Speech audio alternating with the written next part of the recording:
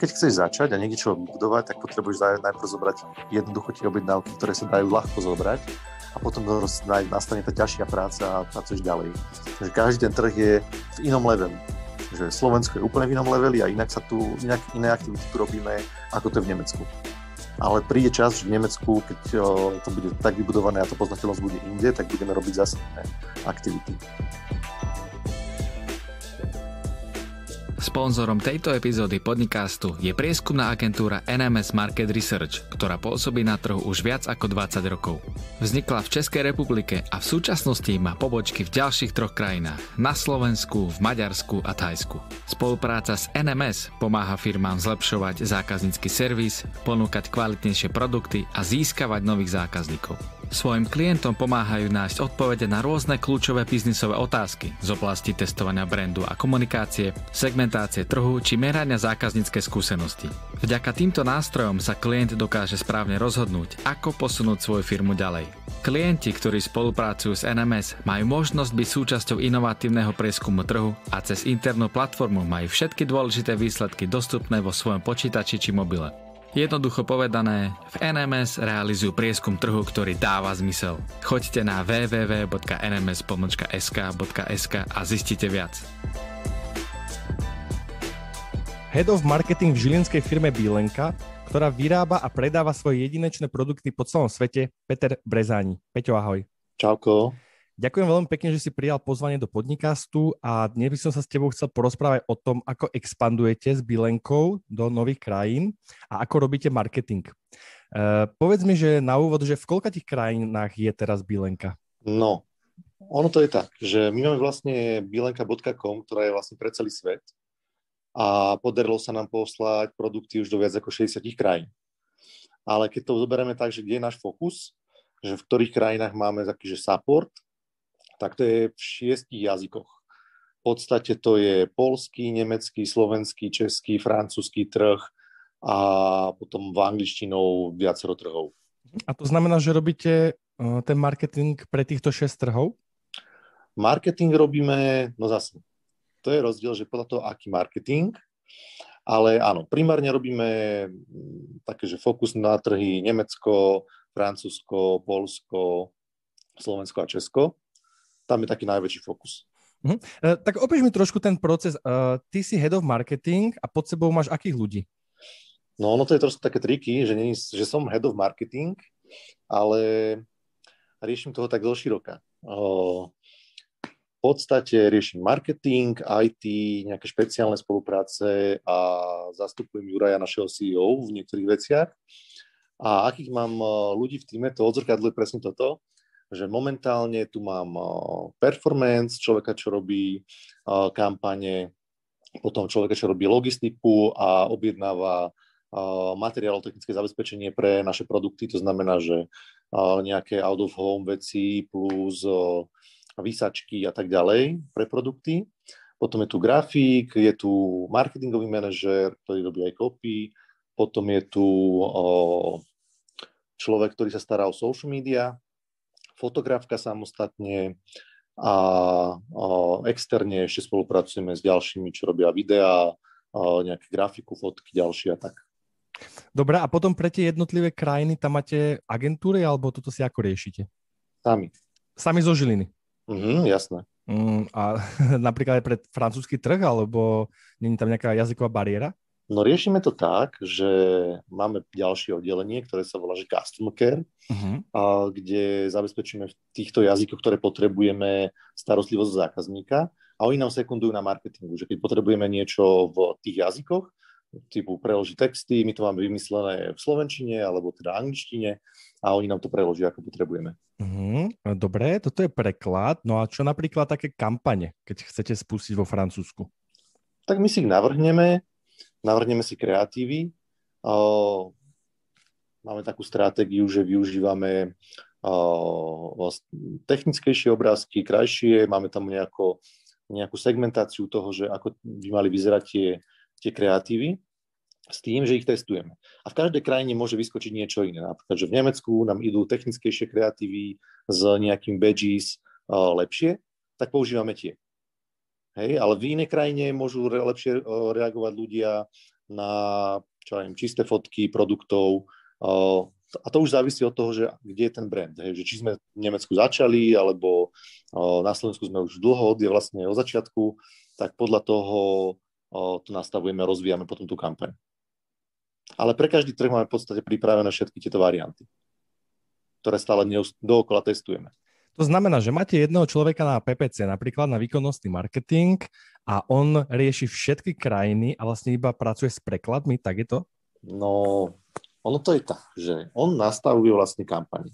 Uh-huh. Čiže vyberá publika podľa zadania. Že nerobí to úplne, že sám. On nastavuje tú kampaň technicky, ale že vizuály a tú kreatívnu časť a tak ďalej, to robia aj ďalší ľudia. Takže dokopy na tom, povedzme, na tej performance kampani robia štyria ľudia. A títo štyria dokážeme ich tak, uh, tak využiť, že dokážeme urobiť každú krajinu. Ono tá správa tej kampane nie je toľko. Tam je toľko času. Tam ide o to skôr, uh, že aby to malo pointu. Mm, to je pravda, ale tak každý trh je trošku iný a asi by sa tam mali málo komunikovať nejaké iné Uh, nejaká iná správa v tej krajine, povedzme, že Rumunsko, neviem, že oni sú na, na zlavy, tak by sa m, mala tam ako spomenúť nejaká zlava. Toto neriešite, alebo máte rovnaké reklamy, ktoré potom následne len testujete? Mm, riešime ale to nie je taký veľké, tak, tak veľmi odlišné, aby sme to nezvládli urobiť. Hej, ale že napríklad, že Rumunsko nemáme teraz. Keď akože dám nejaký príklad, tak najväčší rozdiel je povedzme, že Nemecko, kde sme začali uh, v lete minulého roka a versus nejaké Česko alebo Slovensko, kde sme dlho, že, kde máme tú značku úplne niekde inde aj v poznateľnosti. A my keď nasadzujeme kampaň, tak už vieme, že že urobíme si sériu, sériu display bannerov, alebo dobre, publik a vieme, že ktoré nám fungujú kde.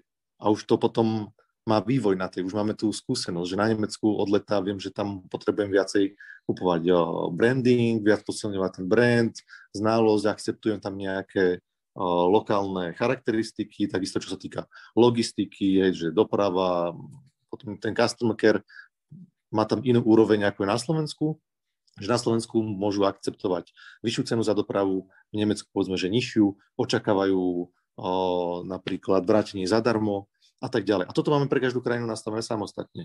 Že tieto odlišnosti máme nastavené, že to je v pohode.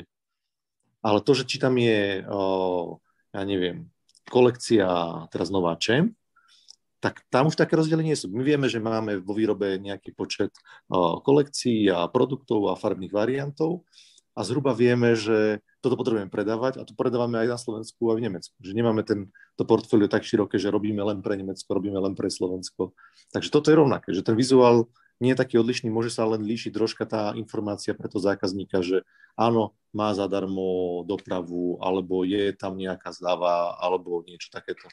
Uh-huh, rozumiem, jasné, to dáva zmysel. Uh, tak pri tých PPC kampaniách je to relatívne jednoduché, ale čo napríklad také sociálne siete? Toto si ako riešite pre jednotlivé krajiny? No aktuálne máme dva Instagramy, lebo máme Baby Wedding a Barefoot, hej, že to sú dve také hlavné segmenty. A, a plus to máme ešte rozdelené teda na Instagrame dve skupiny, na Facebooku máme teraz novú skupinu Baby Weddingovú a potom Barefootovú takisto. A LinkedIn máme jeden, a riešime to tak, že každý post, ktorý píšeme, píšeme v angličtine a slovenčine. Je, že týchto dvoch jazykov komunikujeme na sociálnych sieťach a oni sú zvyknutí, nemajú problém, tí, čo majú iný jazyk, že to majú v angličtine. Zatiaľ to ne, nedokážeme robiť tak, že by sme mali, ja neviem, 6 o, facebookových o, o, fan stránok a na každé by sme vo vlastnom jazyku komunikovali, to nerobíme. Mhm. A skutočne to není problém, že napríklad aj takí Nemci sú v pohode s anglickým statusom? Mm, zatiaľ sa javí, že áno. Akože určite by bolo lepšie, keby sme to mali, že po nemecky, ale bolo by to pre nás o mnoho náročnejšie a v tejto fáze to nie je úplne, že, že vhodné pre nás, lebo by sme palili toľko energie, zároveň vybudovať tú fanpage s takými počtami fanúšikov je náročné. Teraz máme cez 40 tisíc na Bilenka Barefoot na Facebooku a teraz to isté vybudujú v Nemecku. Že to, chce čas, proste chce to kopec energie, ten tým je relatívne stále malý, že toto zabezpečiť je náročné. Ono časom, možno v budúcnosti sa ukáže, že to je správna cesta, ale ani iné značky konkurenčné to takto nemajú. väčšinou komunikujú nejakým jedným účtom, maximálne dvoma. Uh-huh, uh-huh. Určite súhlasím, že je to náročné a hlavne teraz to je ešte viac a viac náročné, že keď si neplatíš na tom Facebooku, tak už pomaly ani ten fanúšik tam nepríde a Facebook ťa neukáže. E, dobre, zaujímavé, takže vlastne toto riešite to zo Žiliny a iba to vlastne prekladáte do jednotlivých jazykov. E, povedz mi napríklad ten nákupný proces. Je toto preložené do, do jazykov alebo toto tiež má každý v angličtine? Nie, no máme e-shop, ktorý má jazykové mutácie a je to práve francúzština, nemčina, slovenčina, čeština, polština a angličtina. Takže týchto šesť jazykov máme kompletne preložený e-shop. Uh-huh, a, takže každý dostane v tom svojom jazyku správu, kde si to objedná, hej? Áno, aj servis. Presne tak, že vie si vybrať produkt, vie si o ňom prečítať v tom jazyku, keď, nie, keď nám napíše na support, tak mu odpovedia v tom jazyku, toto je zabezpečené. Uh-huh. Uh, chcem sa opýtať, že ako máte tú stratégiu v marketingu? Napríklad uh, začníme, že ako si stanovujete ciele? No, ja by som to povedal inak troška. Lebo keď my ideme na tieto trhy, alebo chceme rozvíjať nejaký, nejaký trh, tak v podstate ideme takými tromi krokmi. A to je výber toho trhu, že musíme sa rozhodnúť, prečo tam ideme a uh, za tým máme nejakú logiku. Potom máme, že technické zabezpečenie, to už sme načali, že musí tam byť domena, e-shop, multijazyčnosť, teda lokalizácia, support, logistika, platobná brana a tak ďalej. A potom je tá obchodno-marketingová stratégia. A pre každý trh to je trošku iné. Že keby som to že zjednodušil, že my sme teraz uh, v, v, uh, v takom, by som povedal, uh, v takej stratégii, že ideme low hanging fruits. Že všade, kde prídeme, chceme si zobrať tých, čo sú už presvedčení, napríklad, že berfutiaci. Že poznáme to publikum, vieme, o koho ide, vieme, ako ich presvedčiť, lebo im dáme veľmi kvalitný produkt a to je obrovská výhoda tohto, že my vieme, že máme veľmi dobrý produkt aj v, z pohľadu konkurencie celosvetovo a keď ho tam umiestnime, tak toto publikum, ktoré už nosí barefoot, pozná to a skúsi a vidí náš produkt, tak je väčšinou s ním happy. To je 99%. Takže si zoberieme presne týchto. A to je ten štart na tom trhu. Uh-huh. To znamená, aby som bol ešte konkrétnejší, to sú napríklad PPC kampane na konkrétne slova e, Barefoot a Barefoot cena a tieto, hej? A publika a social media. Momentálne, ja si myslím, že akože robiť PPC, že Google a tak, akože jasné, robíme, ale social media a content marketing nám určite urobí viacej. Takisto aj uh, affiliate a influencery. No a na tých sociálnych sieťach si vieš presne zadefinovať záujem barefoot alebo topanky, alebo čo tam zadefinuješ? No jasné, alebo teda uh, poznáš toho zákazníka, tak vieš povedať, že uh, k barefootu inklinujú ľudia, ktorí inklinujú aj k zdravému uh, jedeniu, k športovaniu, ku, uh, ja neviem, vegánstvu a tak ďalej že sú to ľudia s nejakými charakteristikami. Majú malé deti, lebo sú lepšie nastavení príjmovo, sú to mladé rodiny, majú nejaký vek, akože tieto špecifika toho zákazníka my poznáme a keď vieme, že funguje tá cieľovka s takýmito charakteristikami v nejakom štáte, tak veľmi pravdepodobné, že nám to bude fungovať aj v, na ďalšom trhu. A to si my otestujeme vždy, hej? že my to testujeme, tieto publika stále s nimi pracujeme. Uh-huh. Uh, pokiaľ máš porovnať, že výkonnostný marketing a brandový marketing, ako som už pochopil, keď idete na nový trh, tak tam hlavne riešite vlastne vý, výkonnosť, výkonnostný marketing. Riešite napríklad aj brand tu na Slovensku? Riešime, jasné. Uh-huh. O tie kampane sú rozdelené. Akože hlavnou vecou je rozpočet, jasné. To ťa nepustí. Proste vieš, že odkiaľ pokiaľ môžeš ísť a ja to rozdeľujem na brandový rozpočet a potom klasika na CPAčku. To znamená, že cost per acquisition a na tú akvizíciu tej objednávky. Že viem, že koľko môže minúť na akvizíciu jednej objednávky a tak musia tie kampane vychádzať, aby sme to spravili.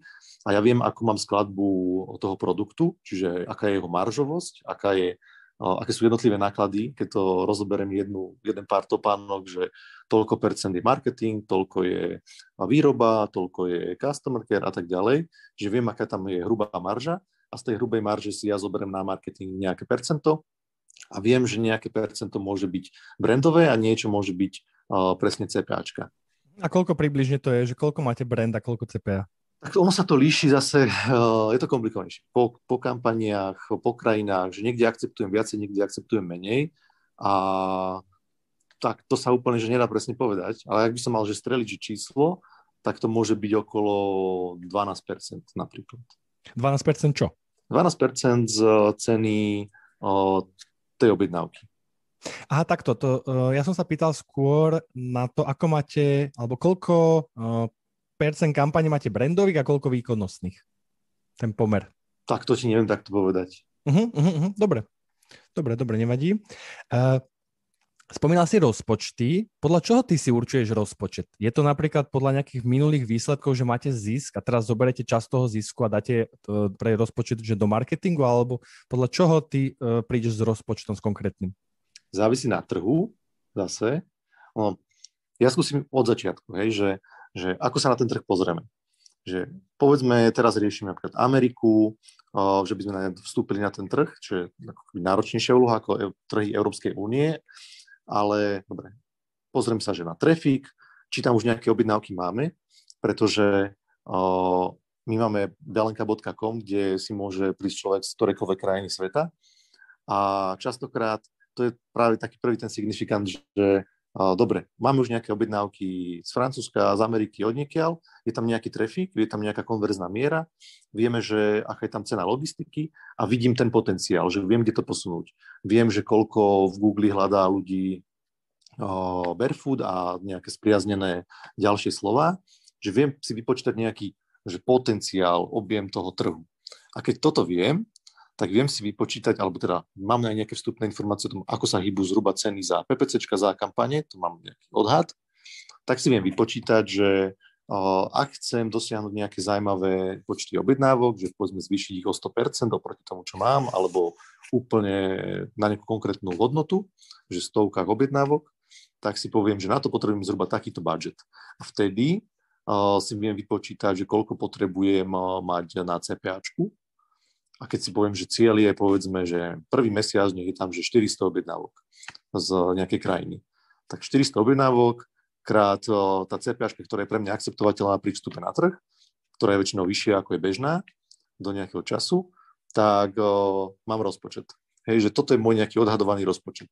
A pokiaľ tú kampaň spustíme a ja vidím, že sa to vyvíja tak, ako som očakával, alebo lepšie, alebo horšie, tak viem s tým hýbať. Že ja ten rozpočet nemám fixný. Ja mám v podstate veľmi pohyblivý rozpočet marketingový, tak, keď, keď predávam a predávam tak, že tu, ten náklad na akvizíciu je nízky, tak môžem ten rozpočet mať v podstate nekonečný. Presne chápem a presne toto je taký, sú také dva pohľady, čo vidím, že niekto sa na ten marketing pozerá práve cez to CPAčko, že pokiaľ uh, tie náklady na konverziu sú nižšie ako to CPAčko, tak vlastne môže to ísť do nekonečna, presne ako si hovoril. A niekto sa na to pozerá cez tie rozpočty a vidí tam nejaký strop, tak presne to ma zaujímalo, že ako ty sa na to pozeráš uh, v rámci bilenky. No ja sa na to pozerám tak, že áno, CPAčka je jedna vec, ale zároveň si poviem, že aha, oplatí sa mi obetovať povedzme 10 tisíc eur na, na, takéto, takéto cieľ, na branding a tak ďalej, lebo viem, že mi to zvýši reach, zvýši mi to o, o, traffic a on sa to odzrkadlí neskôr, hej, lebo ja tých ľudí nepresvedčím na objednávku, povedzme, že do troch dní, hej, ale o, vytvorím nejaký kontakt s tým človekom, s tým publikom a keď ho budem dostatočne dlho masírovať, tak začnú tie objednávky prichádzať skôr directovo alebo teda iným kanálom ako tým nejakým platením.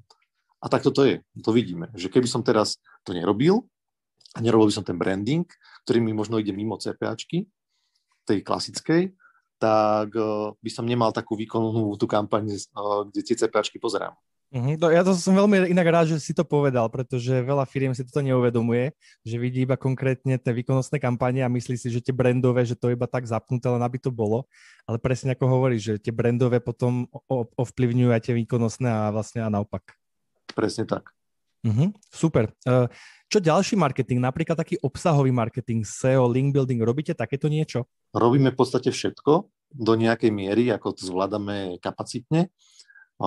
Robíme content marketing, máme vlastný blog, máme ten blog vo viacerých jazykoch, robíme si SEO analýzy, čiže píšeme cieľene články, oslovujeme ľudí, spolupracujeme, posielame na recenzie produkty, robíme affiliate marketing, ktorý súvisí práve aj s týmto content marketingom, lebo podporujeme hlavne tých affiliate partnerov, ktorí robia content. To máme dve siete, Jedna sieť je slovenská a jedna je celosvetová v affiliate marketingu.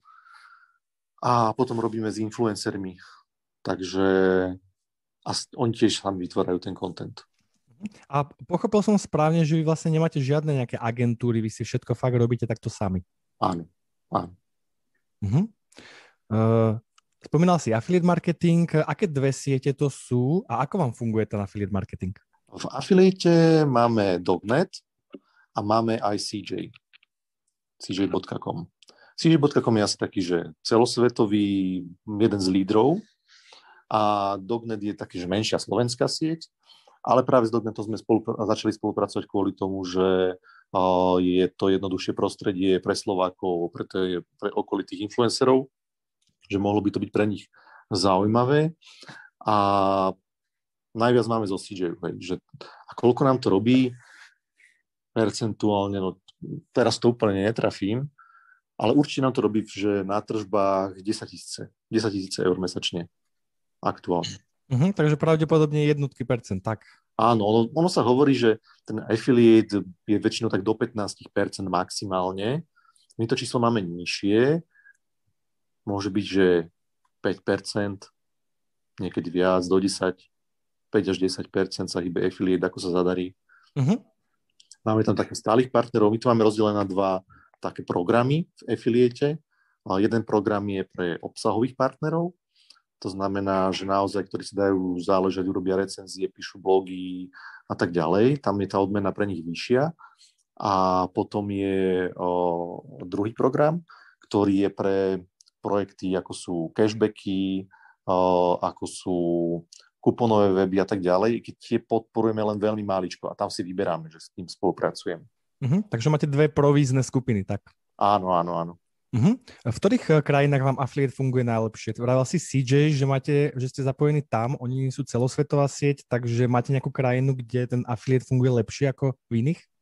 Mm, ono, tak celkovo stredná Európa ten affiliate je slabý. Že tí ľudia to nepoznajú, nie sú naučení na affiliate, uh, ani tých programov kvalitných tam nie je tak veľa. Z tých lokálnych, hej, že že my patríme k tým lepším programom napríklad, ale veľa je takých, že oni to skúšajú skôr ako takú že záchranu, nejakú brzdu, že ešte, bože, nejde mi to, tak skúsim aj affiliate, ale nevenujú sa tomu tak, ako by sa mohli. A potom sú tu takí, čo majú vlastné affiliate, že Alza má affiliate, celkom dobrý, ja neviem, Pilúka a tak ďalej. Tie majú také väčšie affiliate, že tie fungujú dobre. A ktorá krajina, no tam, kde si vybuduješ najlepšie tie kontakty. Nám celkom dobre funguje, že Česko a celkom dobre sa rozbieha, že Nemecko na affiliate, tam sú takí stáli partneri, vyplácame tam seriózne dosť veľké provízie a napríklad, že Slovensko je také, že, že v tom affiliate stále také záspaté, by som povedal. A určite má väčší potenciál, ako, ako to je teraz, ale prichádzajú zase nové platformy, ktoré to môžu uľahčiť hlavne tým influencerom, lebo veľa influencerov už má nejaký trafík, má nejaký zásah a celkom nevedia pracovať s tým, že čo si pýtať a ako byť odmeňovaný, ako to monetizovať. A napríklad teraz vzniklo, už je to nejaký čas, čo to funguje, že content jamo. A tam sa vedia práve zapojiť tí, ktorí nie sú tak technicky zdatní, nerozumejú tomu a chcú to monetizovať a to content jamo to za nich rieši a odmenuje ich a tak ďalej. A my ako program si vieme zapojiť content jamo. Takže toto je napríklad jedna cesta, ktorá by mohla pomôcť rozšíreniu affiliate marketingu. Uh-huh. Určite s tebou súhlasím, že na Slovensku je tá situácia s marketingom taká, že ten, uh, ten trh je taký zaspatý, hlavne keď to porovnáme s Českom. Uh, vy predávate vlastne barefootové topánky. Um, aký je ten typ potom toho affiliate partnera? Sú to nejaké cashbacky, katalógy hlavne, ako si hovoril, alebo idete skôr napríklad tým, tými recenziami, že normálne pošlete topánku, on si ju vyskúša, napíše recenziu, alebo aký typ obsahu uh, sa vlastne vytvára najviac z tých affiliate publisherov? No, kupóny a cashbacky, alebo nejaké takéto weby, ktoré sú väčšie a združujú viacej zákazníkov, tie obmedzujeme. Tam máme naozaj len tých najlepších. Hej, že tam si vyberáme, s ktorou značkou ideme spolupracovať a, a najviac potom nám robia práve tí, ktorí recenzujú, že majú nejaký obsah. Tak o, to je pre nás hodnotnejšie, že naozaj človek tam má, je motivovaný tým, že aký ten produkt, aký je kvalitný a tak ďalej. Lebo pri tom cashbacku je to len stále snaha o tom nájsť nejakú zľavu. Uh-huh. Uh-huh. Tak určite. Takže pre vás sú zaujímavé tie, tie recenzie práve, hej? Áno. Uh-huh. Určite áno. Chcem sa opýtať na e-mailový marketing. Ako robíte, ako posielate vlastne e-maily zákazníkom z celého sveta? Je to opäť v angličtine, alebo je to preložené do, každ- do každého jazyka pre tú danú krajinu? Toto prekladáme do viacerých jazykov a, a závisí aj, že aké publikum. Ten, ten e-mailing je rozdelený na segmenty. Jednak malý obchod, veľký obchod a potom samozrejme baby wearing a barefoot, plus môže byť rozdelený nejakou typickou kampaňou, že chceme niekoho konkrétneho odmeniť alebo nakupoval za nejaké obdobie a tak ďalej. Lebo my tých mailov nerobíme také kvantum, ako niektorí zvyknú. Sú také značky, ktoré pošlú ti každý druhý deň nejaký mailing, alebo aj každý deň. A toto my nerobíme. My si skôr posielame taký mailing, ktorý zarezonuje a raz za čas. Uh-huh.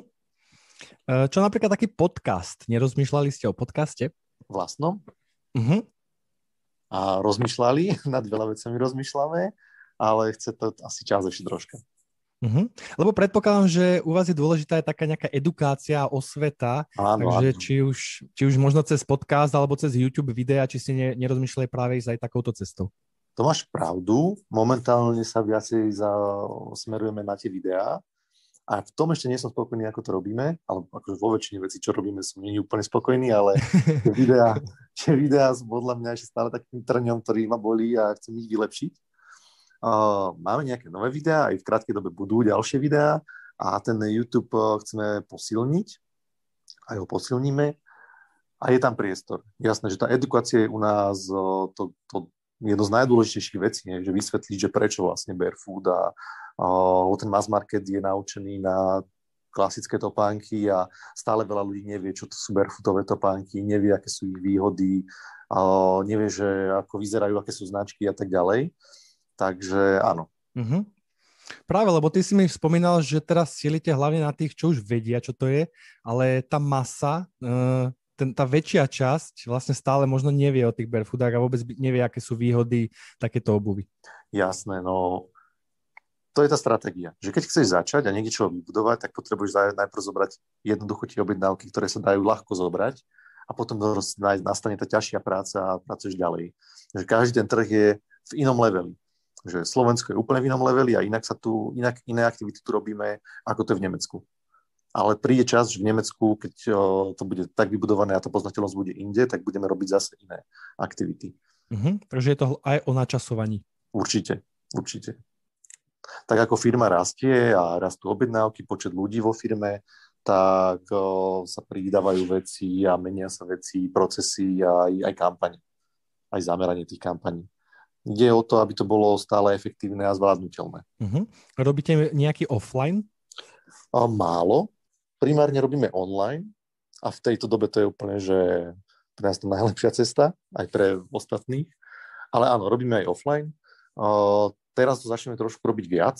Uh, hlavne sa snažíme otvoriť predajňu. My sme niekedy mali taký showroom v Žiline, ktorý sme zrušili, lebo bol vlastne pri našej výrobe a nebolo to podľa našich predstav dosť reprezentatívne.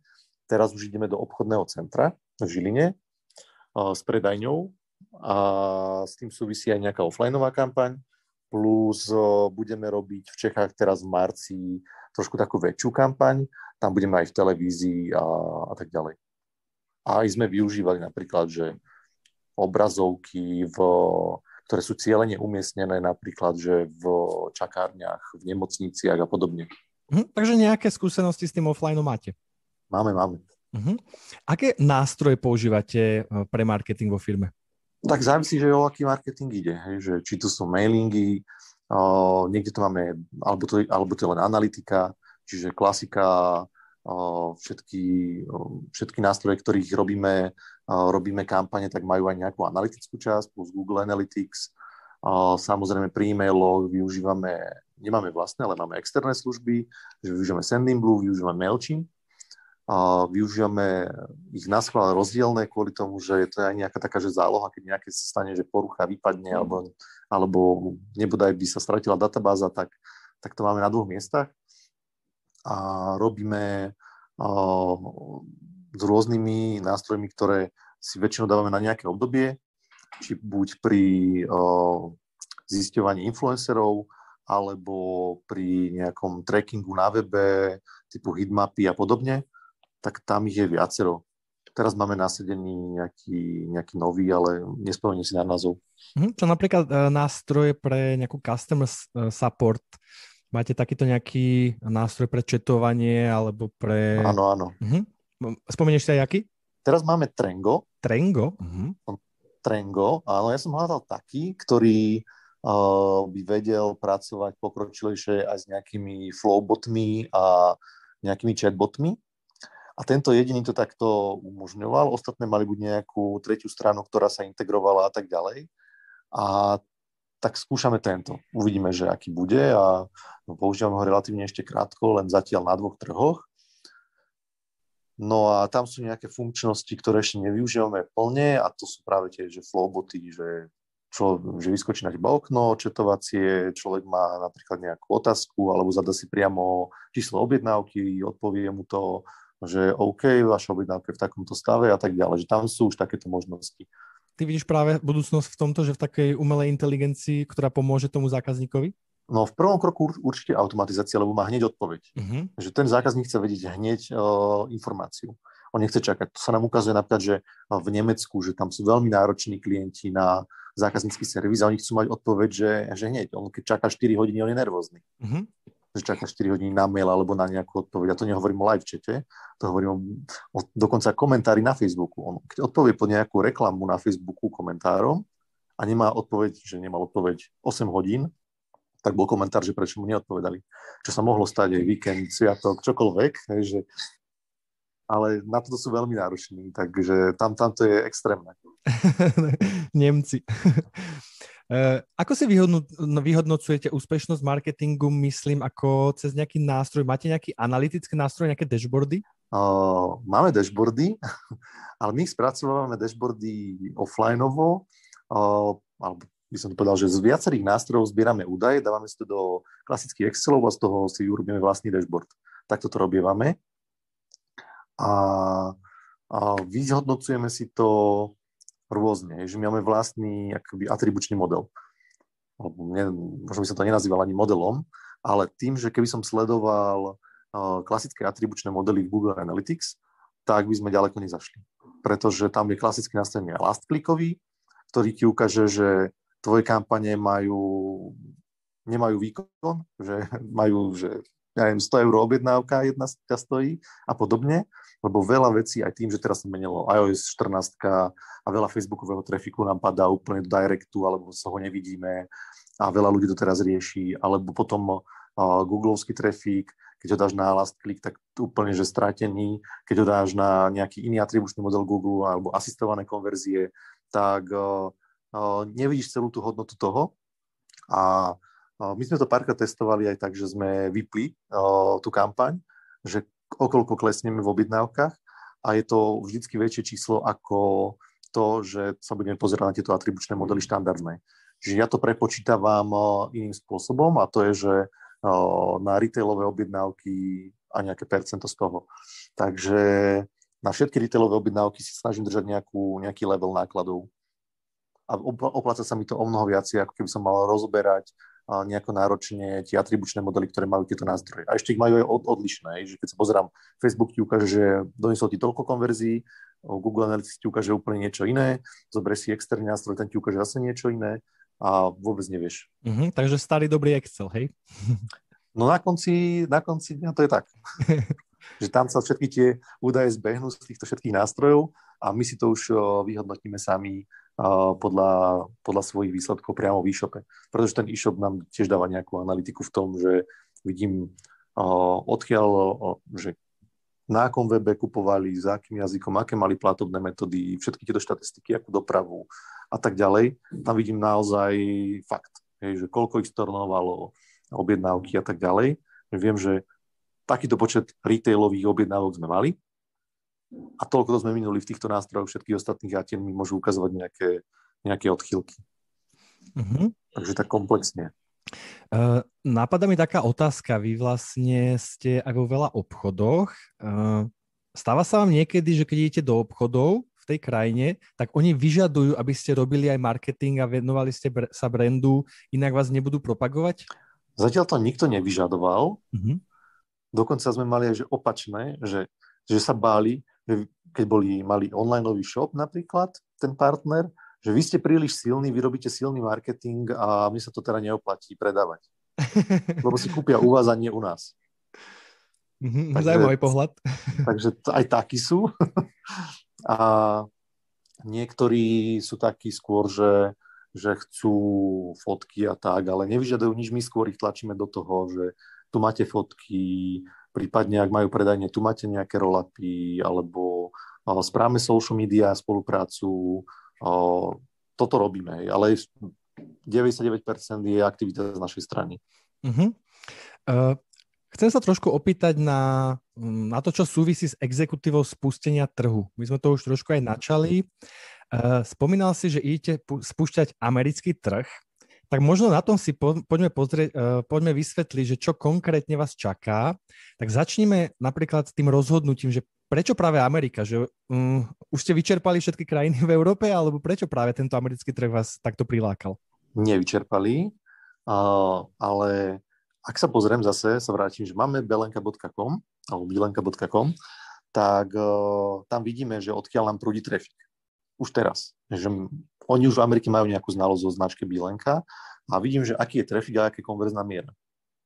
A viem, že tá konverzná miera môže byť vyššia, keď budeme priamo na tom trhu. To znamená, že nebude shipping taký drahý, bude rýchlejší, trošku prispôsobíme tomu trhu tie reálie tej stránky a tým pádom sa posunieme na do úplne iných čísel. Lebo ja keď to porovnám, že neviem, s Nemeckom alebo Slovenskom, tak viem, že tu mám taký trafik, tu mám takú konverziu a mám tu taký počet objednávok. A keď teraz v Amerike, kde nerobíme nič, že nemáme tam žiaden marketing, až možno na pár influencerov, tak príde nám určitý počet objednávok, tak ľahko si viem vypočítať, že o, keď zvýšim ten trafik trojnásobne a zlepším konverziu tým, že spravím ten web lepší, tak bude ten, ten, ten výkon plus 400%. Takže tu je tá biznisová logika, že podľa čoho sa rozhodneme. Že už tam proste ten trafik je a viem si povedať, že ako to viem ešte zoptimalizovať. Takže do veľkej miery to rozhodnutie je vlastne akoby data-driven, to znamená založené na dátach, ktoré máte dopredu k dispozícii. Doteraz to tak vždycky bolo, že vždycky sme videli, uh, že kde je ten potenciál, preto sme tie trhy aj tak otvárali. Vždycky je tam za tým nejaké to rozhodnutie, nejaké biznisové alebo nejaké strategické, že je to blízka krajina, veľký trh a tak ďalej, ale vždycky sú za tým čísla.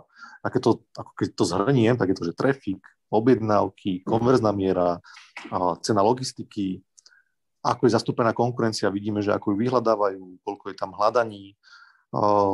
Tá geografia nám tiež napovie veľa, že koľko obyvateľov, kde sa nachádzajú, ako je to veľké, aké je tam právo.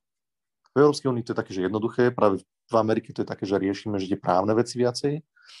A cena performance, že koľko nás bude stať tá kampaň. Čiže viem, kde sa mám hýbať cenou a či to bude náročný vstup, alebo koľko nás to bude stať na vstupe. Uh-huh. Čo sa týka toho práva, ste oslovili nejaké právnické kancelárie, alebo ako ste to hľadali?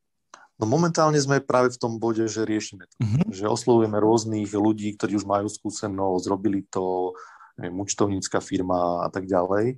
A oni nám dávajú prvé nejaké informácie, ktoré si my zbierame a vyhodnocujeme, že akým štýlom vstúpiť na trh lebo tých možností je veľa, že môžeš to robiť. Lebo nejako to už robíme. My na tom trhu sme len takí pasívni a vieme to robiť o, vždycky o niečo lepšie. A či to budeme robiť len tak, poviem to, že len tak light, že niečo pridáme, zlepšíme, presunieme možno skladové zásoby do Ameriky alebo niečo, alebo tam založíme cerskú firmu, alebo tam nájdeme distribútorov, alebo ďalšie kanály, je toho veľa. Ako urobiť toho veľa, môže, akože môže toho urobiť fakt veľa. Uh-huh. A ty sa ktoré možnosti prikláňaš? Uh, no to sa uvidíme podľa dát. ešte, ešte nie si rozhodnutý, hej? Nie som rozhodnutý, pretože potrebujem mať na to tie informácie. Bez tých informácií to je strašné strieľanie len tak. Uh-huh. Ale je tam aj možnosť, že založíte novú firmu a budete tam mať sklady a rozbehnete to tam naplno. Tak to už je skôr na právnikoch, že ako to urobiť. Je, že tie uh-huh. sklady, akože tá logistika je dôležitá, lebo teraz, keď to chceme poslať zo Slovenska a plus colné veci okolo, tak je to veľmi drahé. Že nevieme zabezpečiť, uh, aby to bolo také priateľné pre nich. Tam môže byť 30 eur pre bežnú retailovú objednávku, čo je pre nich veľa. Hej. A to je v eurách. A keď to zoberiem ešte do dolárov, o, tak sa mi to ťažko nejako rieši. O premietnúť do továru to úplne nevieš. A takisto nevieš dať ten, ten support, že dobre, nesedí mu topánka, potrebuje iné číslo, teraz výmena, to je zložité pre nich. Uh-huh. Ono to musí byť veľmi rýchle, ideálne zadarmo a o, to znamená, že ten sklad tam musí byť, ak to chceme robiť seriózne. Uh-huh. Možno Zapos ich trošku rozmaznal. oni viem, že majú super customer support. Presne Zapos, Amazon, oni tam už sú na niečo zvyknutí, na nejaký level a aj toto sa dá riešiť, že veľa firiem aj zo Slovenska rieši, že Amazon napríklad. Len tam treba byť nastavený zase na tie ich fíčka, že, že koľko si z toho berú a to je pomerne veľká suma, tak aby si bol na nejakých rozumných číslach, tak uh, tiež to není cesta pri každom druhu tovaru. Uh-huh. A čo napríklad ten zápos práve, že nerozmýšľali ste, že aj s ním sa spojíte? Alebo ako oni fungujú? Toto ešte úplne neviem vyhodnotiť, že či je správna cesta, alebo že ako fungujú, lebo stále sme v tom bode, že, že akurát to zriešime. Hej, že, že riešime všetky tieto informácie, že čo je najlepšie, najefektívnejšie, najlacnejšie a najrychlejšie, najlepšie pre tých zákazníkov, aké sú tam kurierské spoločnosti a či to je lepšie dať niekomu do vlastných skladov typu Amazon alebo Zappos alebo si tam dať fulfillment alebo prísť a nahajrovať ľudí a tak ďalej. Ale tá posledná možnosť je málo pravdepodobná.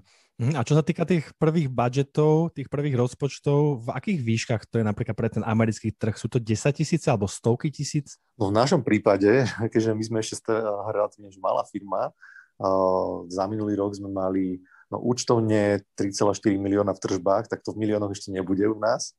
Akože radi by sme, ale bude to v 10 tisícoch. Mhm, v 10 tisícoch. Aj tak, ale aj to je dosť na, akože na ten rozbeh. No určite, ale bez toho to nepôjde. Uh-huh. A ako si potom vyhodnocujete úspešnosť? E, je to priebežné, že priebežne sa pozeráte, alebo máte aj nejaký bod, kedy si poviete, že OK, že nedáva ten trh zmysel, poďme odtiaľ preč. Stáva sa vám takéto niečo? To sa nám ešte nestalo.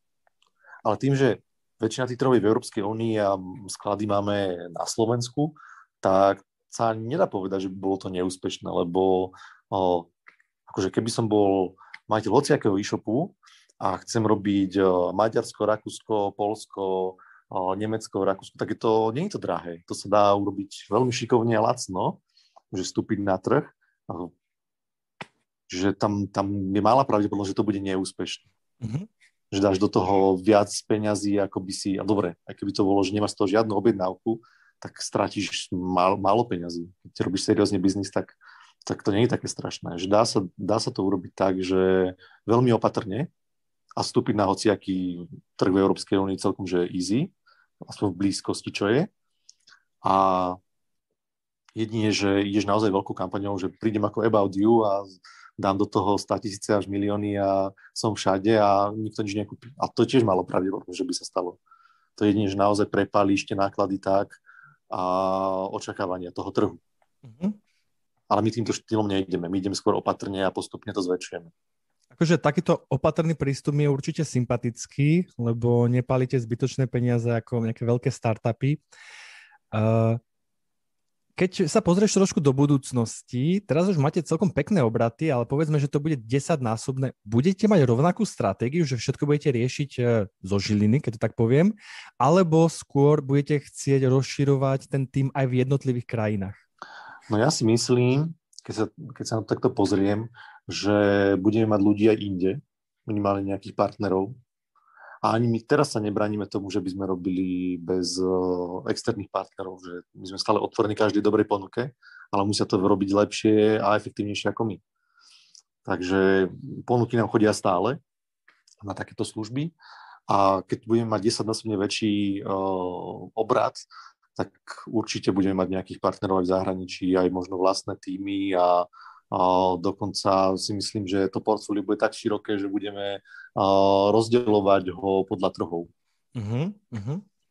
Uh, máte napríklad uh, um, aj takú stratégiu, že by ste mali exkluzívneho partnera pre nejakú krajinu, ktorý by sa možno sám ozval, povedzme nejaký Grék, povie, že ja tu už predávam topanky, ja vás začnem predávať exkluzívne v Grécku iba vás.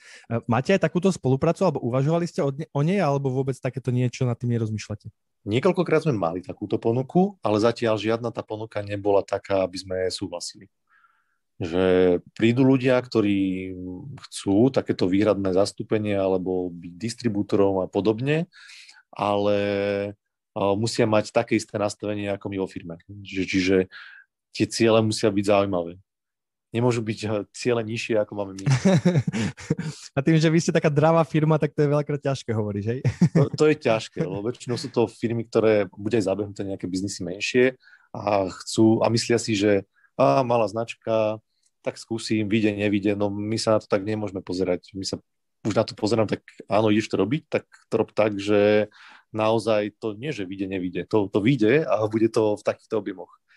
My sme si počítali, alebo teda počítal som nejaké potenciály krajín celkovo, koľko kde môže byť peňazí v Barefoote napríklad, alebo aj v Babywearingu a máme nejaké odhady a nejaké očakávania, takže keď niekto príde a povie, že bude mať jednu desatinu z toho, čo my vieme, že by sme vedeli do, dosiahnuť, tak tam cesta nevedie. Uh-huh. Vy ste malý tým, takže predpokladám, že aj nejaká firemná kultúra bude pre vás dôležitá v Žiline, je to tak? Určite. Uh-huh. Tá firemná kultúra, no, už nie sme úplne taký malý tým, že nás je tu mm, do 50 celkovo v Bilenke a odpočítam výrobu, no dobre, tak tu v office sme možno 30. Teraz, eh, čo sú čisto bilenkáči, tak eh, je to pre nás dôležité, že tí ľudia sú, majú tie hodnoty, ako má aj firma. Že, a tie hodnoty aj, podľa, nich, podľa nej, aj, nich robíme aj biznis. To som práve chcel povedať, že možno podľa nich vlastne potom aj vy vyberáte tých, tých distribútorov, lebo Mm, tej firmnej kultúry, tak vlastne naprieč celej firmy, takže to nemôžeš oddeliť, že distribútor bude mať takéhoto, čo nemá vôbec podobné hodnoty a firmu bude mať e, interných ľudí s takýmito hodnotami. Tak. Uh-huh. Ako teraz fungujete počas korony? Počas korony sme toho urobili pomerne veľa pre chod firmy, aj, aj tú bezpečnosť ľudí. Jednak o, o, tí, čo môžu, tak fungujú home tak ako to je vlastne nariadené tí, čo tu musia byť, tak sa delia do nejakých takých tímov a majú pridelené nejaké tie ochranné pomôcky. Robíme interne testovanie aj sami bez tých štátnych a mali sme nakúpené testy a pravidelne sme sa testovali vo firme. Takže tak, že, že technické zabezpečenie všetci majú, že, že nevidím v tom nejaký problém. Keď sme mali neviem, jedno oddelenie, tak tí ľudia boli oddelení, nestretávali sa, aby náhodou, ak jeden ochorie, tak druhý mohol fungovať a prebrať jeho agendu. Také bežné veci. Ja si myslím, že, že to už je taký že štandard, že všetci to takto museli nejako poriešiť. Uh-huh, takže ľudia už sú ako zvyknutí pracovať remote. Uh, ja tam možno vidím také ohrozenie v tej vašej výrobe, že keby tam sa uh, niekto bol s koronou a sa tam mm, vlastne rozšíri, že vám to môže ohroziť výrobu, alebo je tak nevidí, že viem, že vy máte tú výrobu div- diverzifikovanú, ale vidím, vidíš tam nejaké ohrozenie v rámci akoby, že korona, korony toho, toho, toho procesu? Tak stáva sa to, aj minulý rok sa nám to stalo. Jednak máme teda, ako vravíš, že správne, že diverzifikovanú výrobu, že máme aj vlastnú výrobu a máme aj externých partnerov, ktorí pre nás vyrábajú. My sme neboli schopní ešte vyrábať také počty, tak e, u nich sa stáva, že niekto vypadne, oneskorí sa a tak ďalej. Ale jednak s tým počítame, takže každá tá výroba je nastavená s nejakou, nejakou vatou, že malo by to vyrobené skôr, ako to máme dodávať. To je jedna vec. A druhá vec, keď sa už niečo deje, že vypadávajú ľudia vo výrobe, tak e, meníme meníme tú výrobu v tom, že v menších dávkach rôzne typy produktov, aby sme mali na sklade. Že toto sa, toto sa v čase prispôsobuje, ale nevždy sa to dá. Stalo sa nám, že sme museli mailovať klientom, že sa ospravedlňuje, že kvôli, kvôli covidu sa nám trošku posunie dodanie.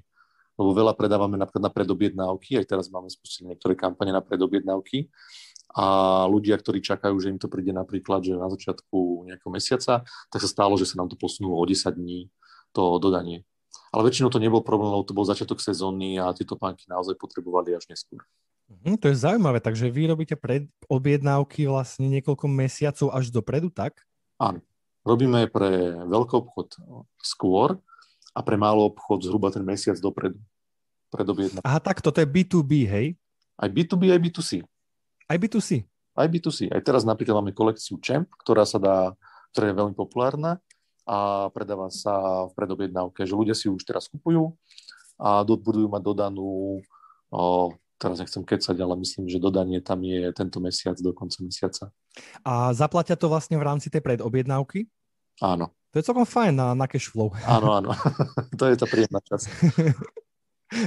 Lebo máš peniaze ešte predtým, ako vlastne dodáš ten produkt, takže môžeš použiť aj na výrobu a tak. Takže zaujímavé. Takže hovorí, že predobjednávky fungujú normálne aj pre ľudí. Fungujú, fungujú. Super. Posledná otázka, Peťo. Aké máte pre tento rok plány s Belenkou, s Bielenkou, alebo možno nejaké ciele, ktoré by si chcel prezradiť? No, strašne závisí od toho, ako sa to vyvinie na trhu a či príde zase nejaký tvrdší lockdown, ako sa to bude vyvíjať po krajinách. Takže už som v tom taký opatrný, lebo nám to môžu zase trošku zhatiť, ako aj minulý rok. Ale o, ja dúfam, že budeme rásť minimálne 150% oproti tomu, čo sme mali. Mm-hmm. To si myslím, že je akože úplne v pohode reálne a, a osobne si dávam ten cieľ ešte vyšší. Wow, tak to sú skutočne veľké ciele, tak budem držať palce a, a nech sa darí. Peťo, díky moc za rozhovor. Ďakujem aj ja veľmi pekne.